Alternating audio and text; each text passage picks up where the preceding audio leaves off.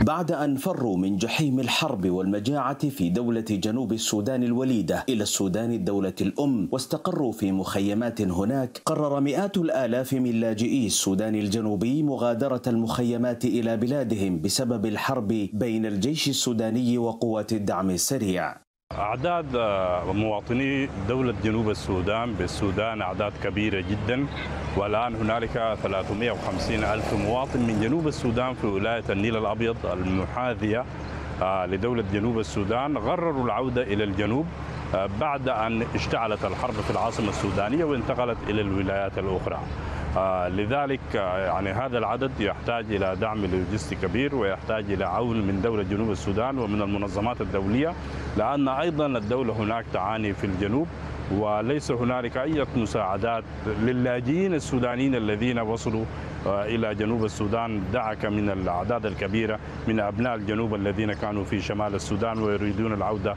إلى جنوب السودان.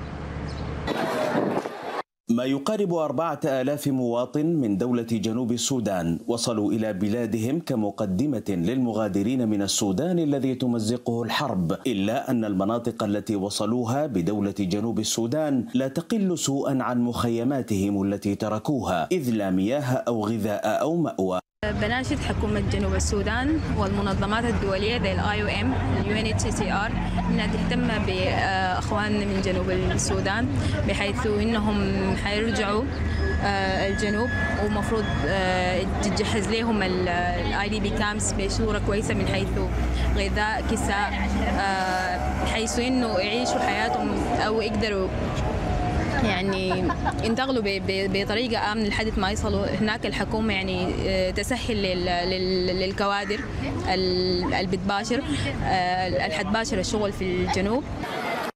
تحديات لوجستية تواجه الراغبين في المغادرة من السودان إلى دولة جنوب السودان وأي تأخير في المساعدة على إعادتهم إلى بلادهم قد تنجم عنه كارثة إنسانية في مخيمات اللجوء بالسودان لانعدام الأمن والاحتياجات الأساسية.